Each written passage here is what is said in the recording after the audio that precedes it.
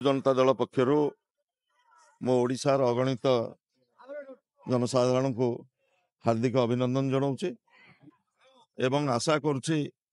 ପଞ୍ଚସ୍ତରୀ ବର୍ଷ ତଳେ ଯେଉଁ ସଂକଳ୍ପିତ ଭାରତବର୍ଷର ସ୍ୱପ୍ନ ମହାମନୀଷୀ ମାନେ ଦେଖିଥିଲେ ଏବଂ ଯେଉଁ ସ୍ୱପ୍ନ ସଂକଳ୍ପ ନେଇ ଯେଉଁ ଗଣତନ୍ତ୍ର ପ୍ରତିଷ୍ଠା ହେଇଥିଲା ତାର ଲକ୍ଷ୍ୟ ଏବଂ ମୂଲ୍ୟବୋଧ ତାକୁ ପ୍ରାସଙ୍ଗିକ କରିବା ପାଇଁ ଆଜିର ଯୁବଶକ୍ତି ଜନସାଧାରଣ ସମସ୍ତେ ସମର୍ପିତ ହୁଅନ୍ତୁ। ବିଜୁ ଜନତା ଦଳ ଏକ ଆଞ୍ଚଳିକ ଦଳ ହିସାବରେ